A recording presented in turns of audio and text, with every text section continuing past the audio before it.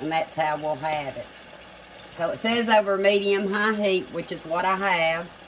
I'm to go ahead and slice up the onion.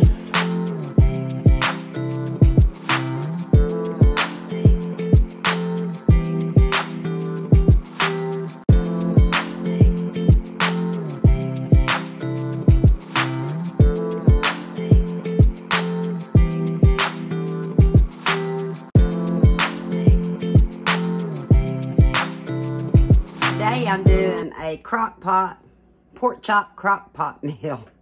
And I almost didn't bring you because it's so simple. And I don't have my light behind me. But, um, it might give you some ideas. I bought these pork chops. It's 2.26 pounds for $2.19 a pound a while back. They're called cowboy cut ribeye pork chops, oven ready. But I'm doing doing them in the uh, what do you call it, crock pot, because they're a thicker chop. Yeah, I'm, I'm starting to drip. I thought I'm out in the refrigerator last night, and when I get my pan heated up and get ready to put the olive oil in, or uh, get ready to uh, sear them on both sides. I'll bring you back. I'm actually getting this recipe from a uh, recipe online and I'm loosely using it. I'm to put just enough olive oil in there so we can uh, sear the pancakes on, uh, pancakes. the pork chops on both sides. Also, I'm to be using one cream of chicken condensed soup. It actually asks for three-fourths of a cup of a uh, beef uh, broth. But, and they say it makes it tastier. I don't know. I'm just going to use one of my, got the wrong one out one of my Goya chicken bouillons. And I'll put three-fourths of it in. But I'll bring you back for that. And it also asks for mushrooms and onions. I believe my pan's just about ready for my pork chops. So I'm going to try to really stay focused. If I had been baking them, I actually get them at United Grocery Outlet like this. I could have baked them right in the full pan they put it in. And like I said, since they're seasoned, I didn't need to add any seasoning. Oh, no. These are big. I may have to, look there. They're so big they're covering the pan. This is going to make us at least two to three meals total. Because I will cut pork chop off the bone. I guess I mean sliced it. And that's how we'll have it. So it says over medium high heat, which is what I have. I'm to go ahead and slice up an onion.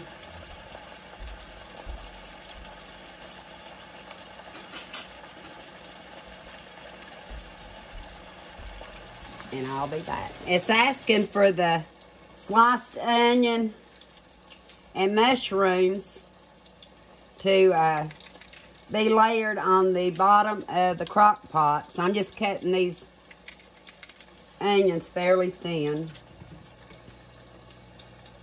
And I'm just going to lay them right in the crock pot as is.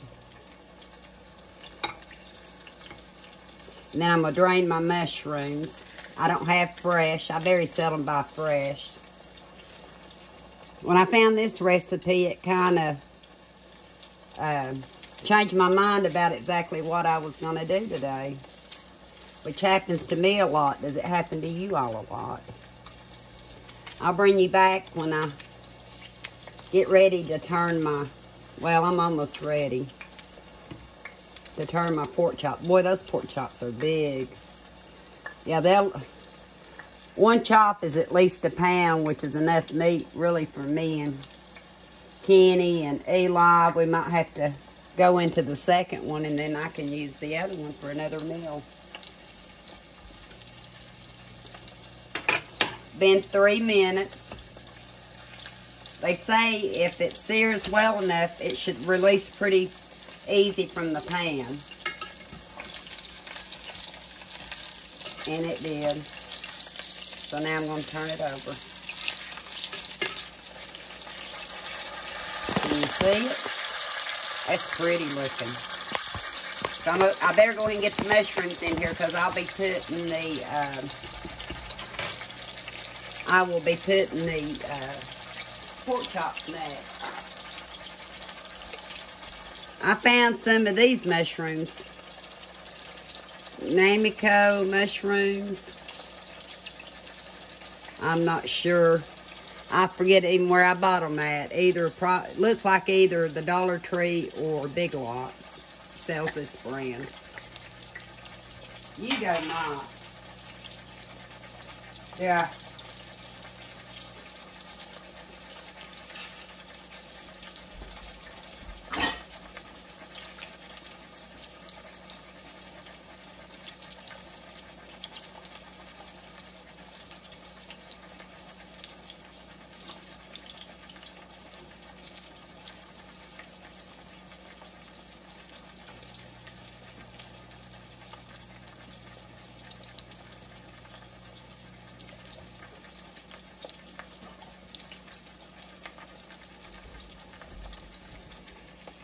These, these mushrooms might disintegrate. I've never had these before. They have like the stem and all. Maybe y'all know what kind of mushroom they are.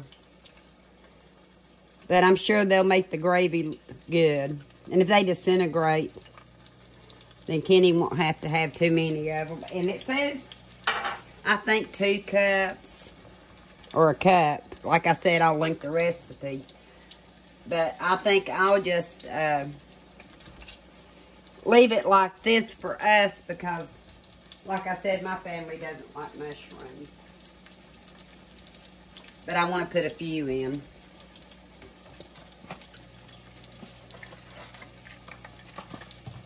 And while my pork chops working on it, I need to put my bouillon in here. And this is the bouillon that's still kind of clamped from being over the stove. And even though it's clamped from over the stove, I keep leaving it up there. I doubt the moisture will come out. I'll just put it in here. And I'll bring you back. My second chop's almost done. It's a good thing I kind of looked at it again because it was asking for a cream of mushroom and a can of cream of chicken and three-fourths of a cup beef stock, but I'm using three-fourths of a cup of this. Not all of it, three-fourths of a cup for uh, the recipe. Cooking totally out of my pantry today. Not buying anything. Using what I have. Got the chops out of the freezer. Bought them at Yugo a few weeks back. It says to cook it on low for seven hours. But you, as you'll see, my time's never right on here. I'm not sure. If I, I think I'll start it on high. I don't know. I think I'll leave it on for seven hours. We'll see. This is how I cook. We're back. I've got the second pork chop seared. And I'm going to put it in here. And this is almost like four regular pork chops. It really is. But now it's telling you to take all your soups, your can of cream of mushroom,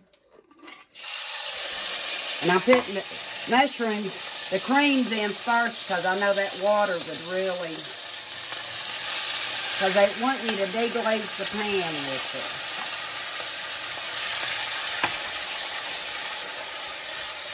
And I,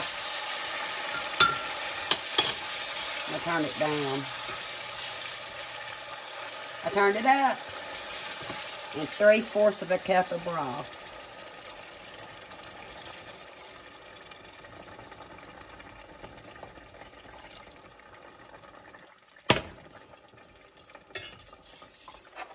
Believe it or not, these cream soups come out really good.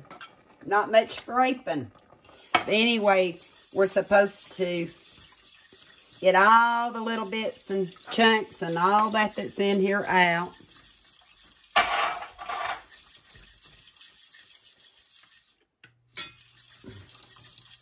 I'm going to smooth it out a little bit.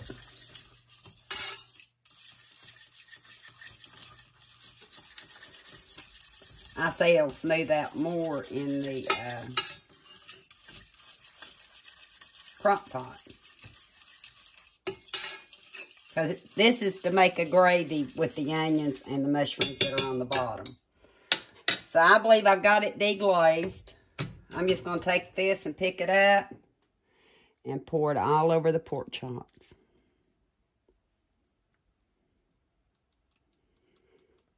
I'm not exactly sure how long these are going to cook because they are really big.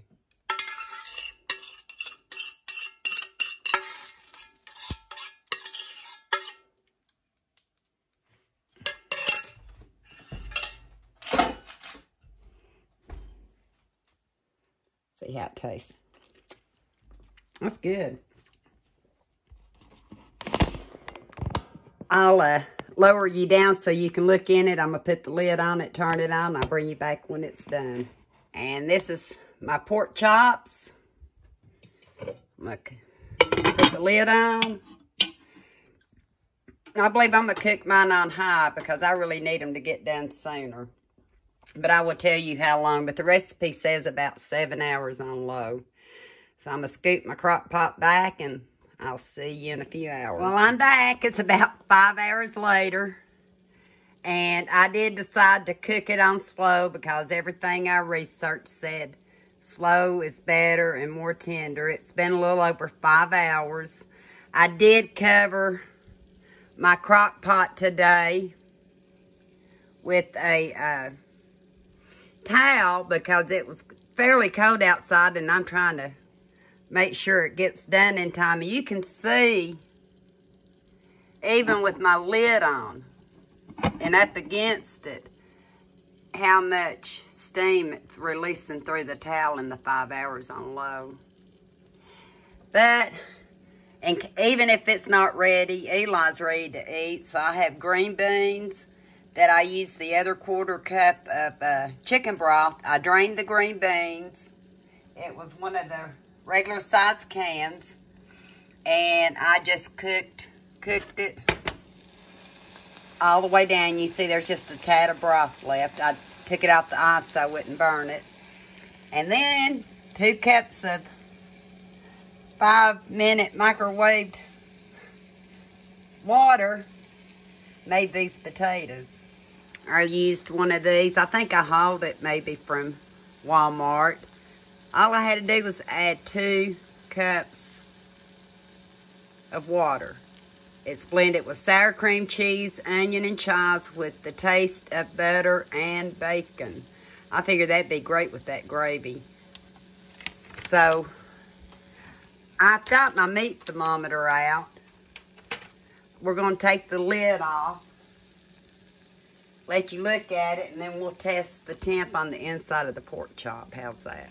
Hope I have you wet, angled well enough. I've been smelling it for a long time, but like I said, that towel's really wet. And I've been anxious, but I try to keep from it, so here we go.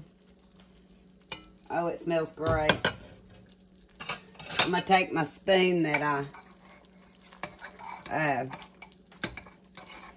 stirred my beans up with and check, do that. They say your pork chops are done at 175 degrees. And yeah, I had my thermometer laying out. I'll be right back. I covered it up with the towel I took off. I did not open it during those five hours. I wanted to make sure it had as much heat as I could give it. And I'm just going down the center of this pork chop. Yeah, it's done. It's definitely done. It says 190. Might be overdone. And like I said, I just did medium. Let me see. It's kind of weird because, yeah, 180, 185. So it's time to take them out. And I thought I had my... I'm going to have to find something to take them out. You'll laugh when you see what I'm using to get them out with. One of my big spatulas. Look at that thing. Let me get the other one. It says you can thicken your gravy with the roux if you think it needs it. I really don't believe this one is going to need that.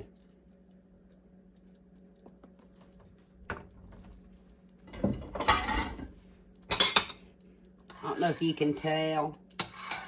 Look at all that goodness. I can kind of, with Eli and Kenny, I can kind of move the onions and the mushrooms over for me and just give them the gravy. That's one thing I like about this kind of meal. So I'm going to put the lid back on this and bring you down and show you how it slices. All these pork, although these pork chops have bones in them, they were still 2.26 uh, pounds. So one pork chop should just about make a meal for me and Kenny. Look at those bones just coming off. But what I'm going to do is Look how that, look. It's just slicing. Look at that. Probably not cutting the, the right, the way of the grain. See if it, it just tears apart. Look there. So I'm going to plate some up and I'll show you what the finished plate looks like. And I'll taste it. Even though I'm going to taste it now too. Hope you can see my plate. I've got uh, the mashed potatoes and gravy. No need to thicken. My green beans. I did not put any extra gravy over my potatoes, but you see what I'm saying with the gravy? I can just put Kenny gravy without the onions, and I'll be more than happy to take the rest. So I'm going to take a bite, and then I've got two more plates to plate up and I'll show you how much pork chop I have left, maybe in another video. I'm a, I know the pork's, I know this pork chop's good. Why do I know it? Because I didn't eat a bite. I'm going to eat a little bit of all of it together. You see how hot it is.